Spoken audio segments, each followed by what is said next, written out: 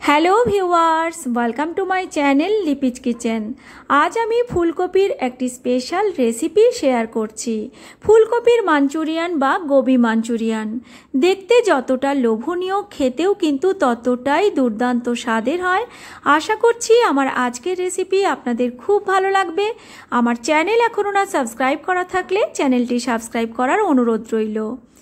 একটা বড় সাইজের ফুলকপি এভাবে ডুমো করে কেটে নিয়েছি। এবার ফুলকপি ভালো করে ধুয়ে নিয়ে জল ঝরিয়ে একটা বড় বোলের মধ্যে রেখে নিয়েছি। প্রথমে মিশিয়ে নিচ্ছি ওয়ান টিস্পুনের একটু বেশি আদা রসুনের পেস্ট। এবার মিশিয়ে নিচ্ছি ওয়ান ফোর টিস্পুন গোলমরিচের গুঁড়ো। আর মিশিয়ে দিচ্ছি ওয়ান টিস্পুন লাল লঙ্কার গুঁড়ো। দিয়ে দিচ্ছি পরিমাণ মতো লবণ। আর দিচ্ছি পাতি লেবুর রস। এখানে আমি হাফ পাতি লেবুর রস মিশিয়ে দিচ্ছি। পাতি লেবুর রস মেশানো হলে এখানে আমি কর্নফ্লাওয়ার আর ময়দা মিশিয়ে নিচ্ছি। পাঁচ থেকে ছয় টেবিল চামচ কর্নফ্লাওয়ার আর পাঁচ থেকে ছয় টেবিল চামচ ময়দা মিশিয়ে নিচ্ছি। প্রয়োজন হলে কিন্তু আরও একটু বেশি ময়দা ও কর্নফ্লাওয়ার মেশানো যেতে পারে। ময়দা কর্নফ্লাওয়ার দেওয়ার পর এভাবে ঝাঁকিয়ে ঝাঁকিয়ে ভালো করে সব কিছুকে মিশিয়ে নিচ্ছি। যাতে করে ফুলকপির কোয়াগুলোর গায়ে একটা আস্তরণ বা কোটিং তৈরি হয়। আর তার জন্য আমি দু চামচ জল অ্যাড করে দিচ্ছি, যাতে কোটিং বা আস্তরণটা ভালো করে ফুলকপির গায়ে লেগে যায়। সঙ্গে আমি এক দু চামচ কর্নফ্লাওয়ার আর ময়দা আরও একটু বেশি মিশিয়ে দিয়েছি। দেখতেই পাচ্ছেন সুন্দর একটা কোটিং লেগে গেছে ফুলকপির গায়ে। এবার ভাজা করে নেব। সাদা তেল খুব ভালো করে গরম করে ফ্লেমটাকে মিডিয়ামে এনে ফুলকপির কোয়াগুলো ছেড়ে দিচ্ছি। যেহেতু অনেকগুলো ফুলকপির কোয়া, তাই একবারে ভাজা করা যাবে না। আমি প্রায় দুটো ব্যাচে ভাজা করে নেব। ফুলকপি কোয়াগুলো ছেড়ে দেওয়ার পর সঙ্গে সঙ্গে কিন্তু পাল্টাবো না। এভাবে গরম গরম তেল দিতে থাকব কোয়ার উপরে। তাতে করে এগুলো খুব ক্রিস্পি হয়ে ভাজা হবে। তিন থেকে চার মিনিট মিডিয়াম ফ্লেমে ভেজে নেওয়ার পর এগুলো আমি পাল্টে দিচ্ছি। এভাবে উল্টে পাল্টে সুন্দর একটা কালার আসা পর্যন্ত আর একদম ক্রিস্পি হওয়া পর্যন্ত মিডিয়াম ফ্লেমে ভেজে নেব। যাতে করে ফুলকপি ভেতর থেকে খুব সুন্দর করে সেদ্ধ হয়ে যায়। দেখতেই পাচ্ছেন সুন্দর একটা কালার চলে এসেছে। এগুলো কিন্তু খুব ক্রিস্পি হয়ে ভাজা হয়ে গেছে। প্রথম ব্যাচের ফুলকপির কোয়াগুলো আমি তুলে নিয়েছি। একইভাবে দ্বিতীয় ব্যাচের ফুলকপিগুলোও আমি ভেজে নিচ্ছি।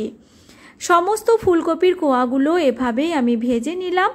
আর এগুলো কিন্তু খুবই ক্রিস্পি হয়, একদম কুরকুরে হয়, সমস্ত ফুলকপির কোয়া ভাজা হয়ে গেছে। এবার এর গ্রেভি তৈরির জন্য আমি দুই টেবিল চামচ সাদা তেল গরম করে এর মধ্যে দিয়ে দিয়েছি দু চামচ কুচনো রসুন। এক মিনিটের মতো এগুলো ভাজা করে করে নেওয়ার পর এর মধ্যে আমি দিয়ে দিচ্ছি পেঁয়াজ কুচোনো, এখানে দুটো মাঝারি সাইজের পেঁয়াজ আমি কুচিয়ে দিয়েছি। হাই ফ্লেমে পেঁয়াজটাকেও এক মিনিট ভাজা করে নেওয়ার পর এর মধ্যে মিশিয়ে দিচ্ছি ক্যাপসিকাম কুচোনো। হাফ ক্যাপসিকামকে আমি ছোট ছোট ডুমো করে কেটে রেখেছিলাম। একদম হাই ফ্লেমে কিন্তু সব কিছু এভাবে ভাজা করে নিতে হবে। এক দু মিনিট নাড়াচাড়া করার পর এর মধ্যে দিয়ে দিচ্ছি স্প্রিং অনিয়ন কিছুটা। আবারও এক দু মিনিট এভাবে হাই ফ্লেমে নাড়াচাড়া করে নিচ্ছি।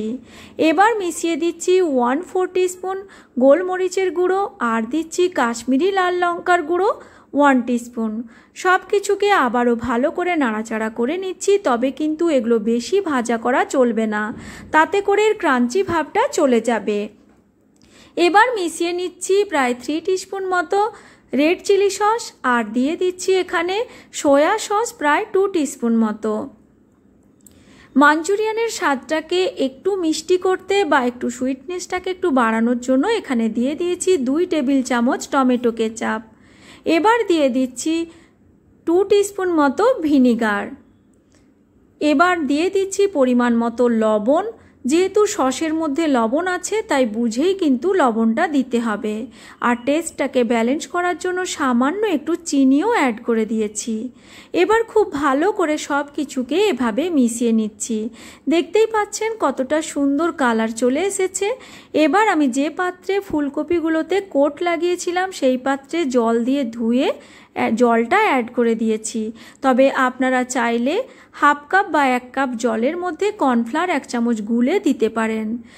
গ্রেভিটা সুন্দরভাবে ফুটে গেলে এবার আমি ভেজে রাখা ক্রিস্পি ফুলকপির কোয়াগুলো দিয়ে দিয়েছি। আর দেওয়ার পর ভালো করে গ্রেভির সাথে বা সসের সাথে মিশিয়ে নিচ্ছি। খুব বেশি সময় আর রান্না করার প্রয়োজন নেই। যেহেতু গ্রেভিটা বেশি শুকিয়ে আসছে, তাই আমি অল্প গরম জল অ্যাড করে দিলাম। আপনারা যতটা গ্রেভি রাখতে চাইবেন, সেই অনুযায়ী জলটা অ্যাড করবেন। ভালোভাবে দু তিন মিনিট নাড়াচাড়া করে নিয়েছি।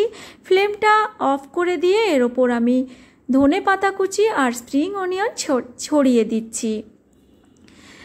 ফুলকপির মাঞ্চুরিয়ান আমার একেবারে রেডি হয়ে গেছে। দেখতে কতটা সুন্দর হয়েছে। আশা করছি আপনাদের খুব ভালো লেগেছে। ভালো লাগলে লাইক, শেয়ার ও কমেন্ট করতে ভুলবেন না যেন। আজকের মতো এই পর্যন্তই। Thanks for watching my